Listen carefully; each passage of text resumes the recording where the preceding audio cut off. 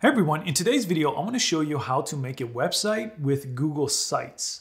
Now, everyone has access to Google Sites and you could use it completely for free for personal reasons, for making a personal website, or if you're using this for work or school, you could also get Google Sites from Google Workspace, which is the old Google G Suite.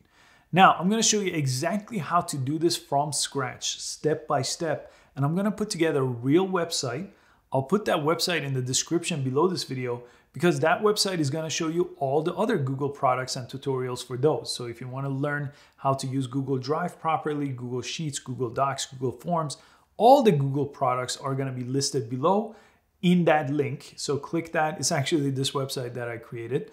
So we'll make it completely from scratch so I could show you how to add banners, how to add text, how to add videos and photos, and make a really nice looking website from scratch. And if it's your first time here, I make easy to follow tutorials every single day, 365 days a year on this channel. So make sure you subscribe so you don't miss the next tutorial. Let's jump in here on the computer and make our website. Now there are three different ways to access Google Sites. The easiest one is probably by going to sites.google.com and it brings you to this page or to the Google login page you have to log in with a Google account. You could do this with your personal account for a personal website or Google Workspace, which is what I'm using to access Google Sites.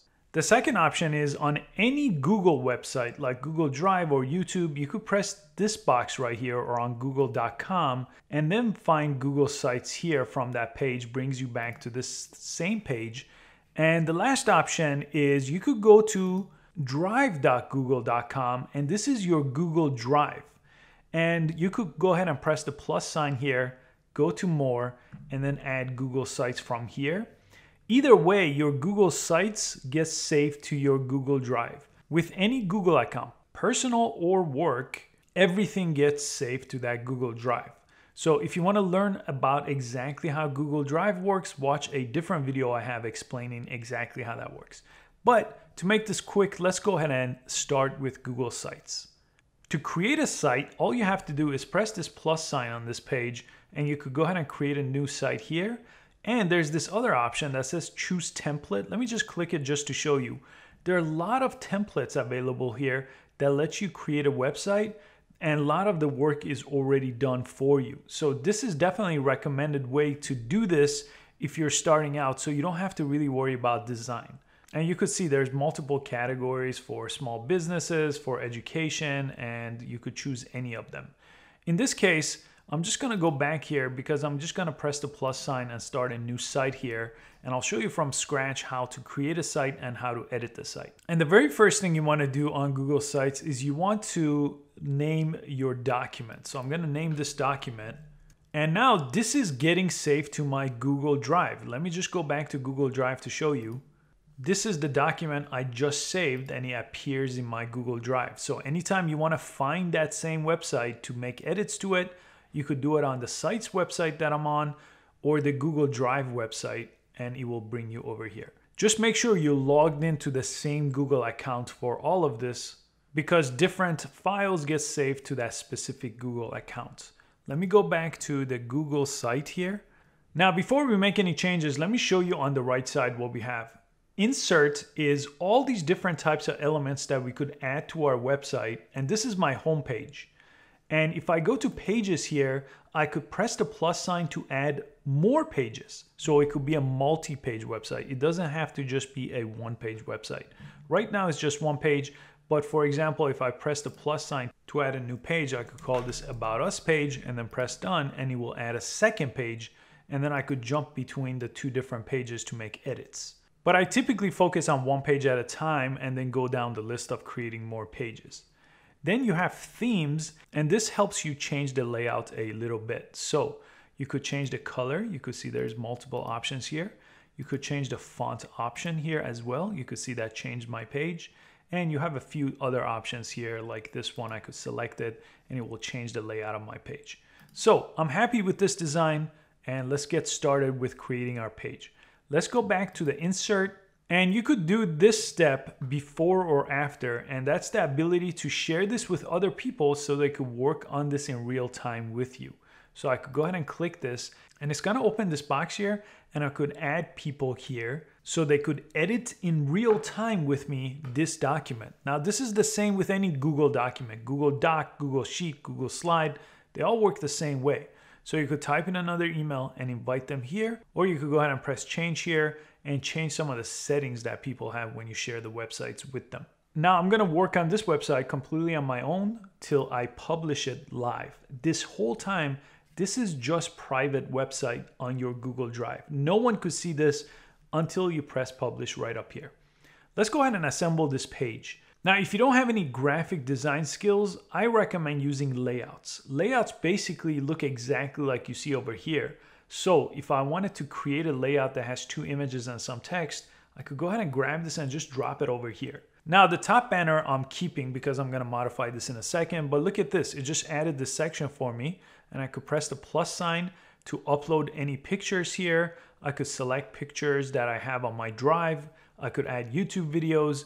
All that is available right here, even maps and calendars. And for text, I could just type text over here. So these layouts are very, very useful. You could just stack multiple different layouts to make a nice looking website. Before I show you some more elements on the right side, let's go ahead and work with our top banner because that's the first thing people are gonna see. So if I come to this corner, it says add logo. So I could add my company logo here. Let me go ahead and do that. And it brought me to this page, brand images. I'm gonna upload my logo right here. And there it is, it just appeared over here. So I could go ahead and exit this page. And because this is on your Google Drive, you don't have to change anything and it automatically makes changes and saves it to your drive.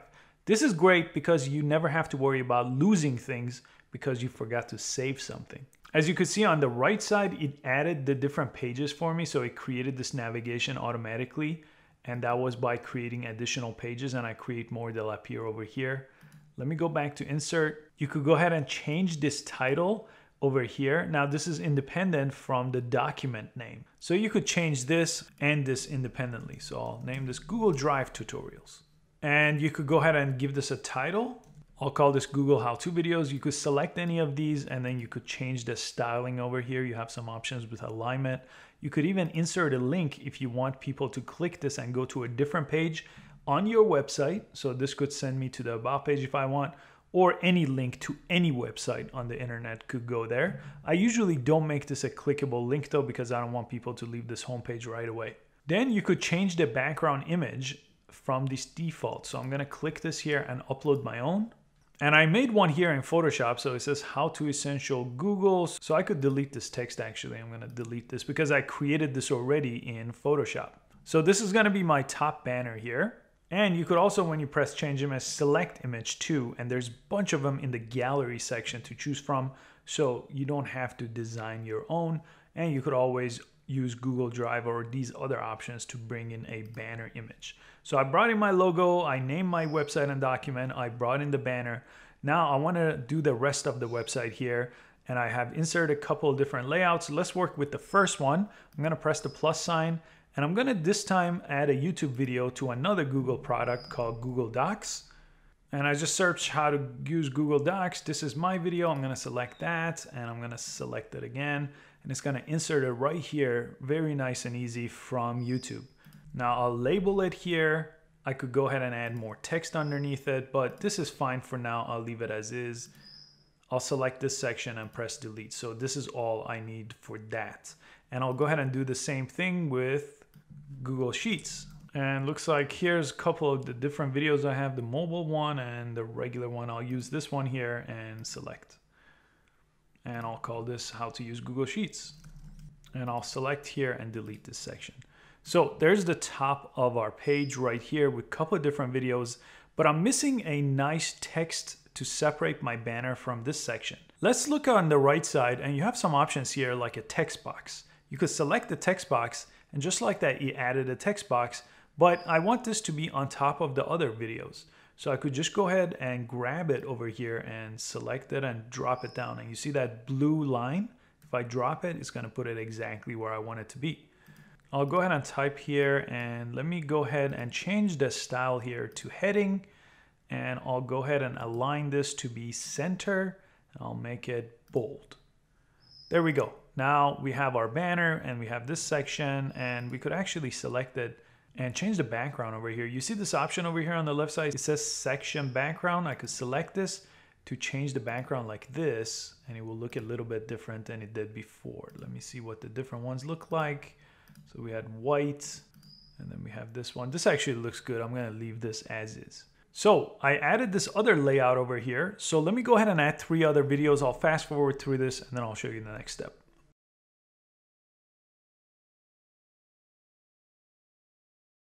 Okay, I added a whole bunch of videos here and these are all the different videos and tutorials I have on Google Drive. So I'm actually gonna publish this website so you could go ahead and watch all these in one place if you want. You get the idea here. You could go ahead and make a website like this using videos. And let me show you how to add images here because that comes in really handy. And again, I'll click this image icon over here and I'll upload one this time. And let's just choose one of these here and there's an image. So I could actually change the size of anything I upload. I could go ahead and grab it. You could see it's letting you scale this exactly how you want to. And then you could do the same thing horizontally and vertically here to make it look really nice. So you could use this to design your website any which way you want. Now let's keep going down because you also have these other options here that we haven't talked about, but any of them lets you add more. For example, if I want to add a button here, I could click this and name this something. And I could even link this maybe to a contact page if I made a contact page. And in this case, I'll just do about page and I'll go ahead and insert it here. And there's a button here that people could click and it will take them to whatever page I linked. And then I could select this actually and then go ahead and change how it looks. So I could do an outline or the text or leave it filled like I had over here. And anytime I could go ahead and edit it. And I could just grab it and put it somewhere else. So I want this to be on the center of the page instead of the left right there. And there you have it. Now I added a button to this over here on the bottom of my page. You could do the same thing with just about anything you could imagine here. You could do this with Google Slides and Google Sheets and Google Docs. So I could select Google Docs, for example. There is one example here on my Google Drive. I'll select that and press insert on the very corner and it's gonna insert that just like this over here. So very, very easy to add different elements. And anytime you could go ahead and shrink elements down. So I'll make this like half the page and maybe I wanna add a Google slide to the other side. Let's go ahead and add this one, press insert. I'll shrink this down and then bring it up here. So it's very easy drag and drop kind of situation here which is very, very difficult to do on other website creation platforms. You also have this option to create dividers. So if you think things are too close, like if this image is too close to these videos, I could go ahead and add a divider over here. So I'll select it. There it is. It created this line, created a nice divider between sections. And finally, I'll add an image carousel here where it lets you insert multiple images. So I'll go ahead and upload multiple images here and press enter I'll go ahead and press insert here. And again, I could make this as large as I want. And let me go ahead and extend this out a little bit. And you could see with the images now, there's three dots. That means this is gonna play as a carousel. And this is a perfect time to show you how to preview your existing website. Right up here, there's this option for preview. Click it, and it's gonna show you the website on your computer. So there's my banner on top that I put up here, and then I could see all my videos, I could see my image, my button here, my documents, and then there's the carousel here where it gets this nice slider here where people could slide through. So there's my homepage just like that. The about page I haven't done anything to, so if you go over there, it's still that way. You'll have to edit the different pages completely separate. And you have this option where you could view this on a tablet. So this is what it's gonna look like on a tablet.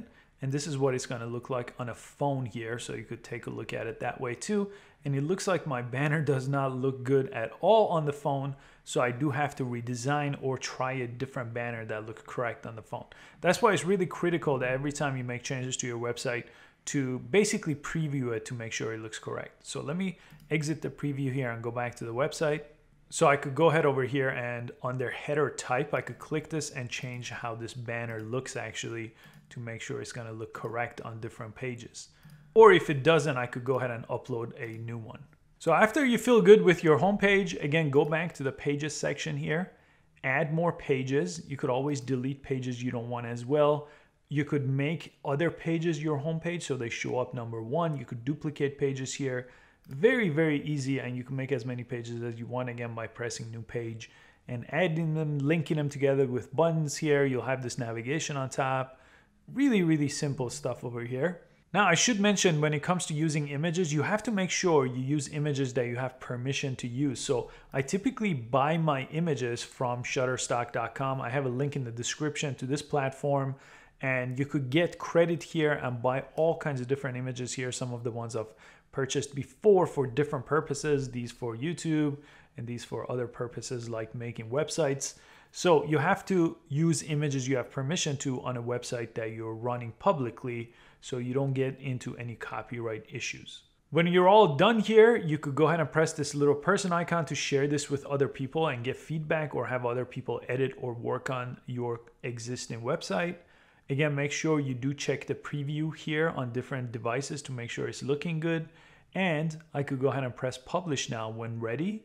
And I could give this a web address. Now it's going to show up at sites.google.com slash howfinity.com slash whatever this is. So Google tutorial. Oh, looks like I can't use the word Google here. So I'll just label this tutorials. And now that's okay because Google is a trademark word, so I can't use it here. I'll press publish. So now the website is actually published. And if you make any other changes to it, you do have to come back and press publish again. If you don't do that, the latest changes won't show up. At this point, you could press copy publish link and that will copy this link that you could share with other people. Now you do have to change one thing. You have to press this option share with others. And I do have to change this link type. Let me go ahead and press change because right now it's published. Anyone in this group can find and open, but I want to change this to public. I want this just to be a public website. Now the draft is still set to restricted here, that's fine. I'll just go ahead and press done now. And now I could click this copy share link and then copy this and then open a new window, paste it. Now anyone with an internet connection could access this on any device and I'll put a link to this website in the description so you can watch all these other Google tutorials. Thanks so much for watching this video. Again, make sure you check out some of the other videos that I've mentioned throughout to really master Google, Google Drive, and Google Workplace.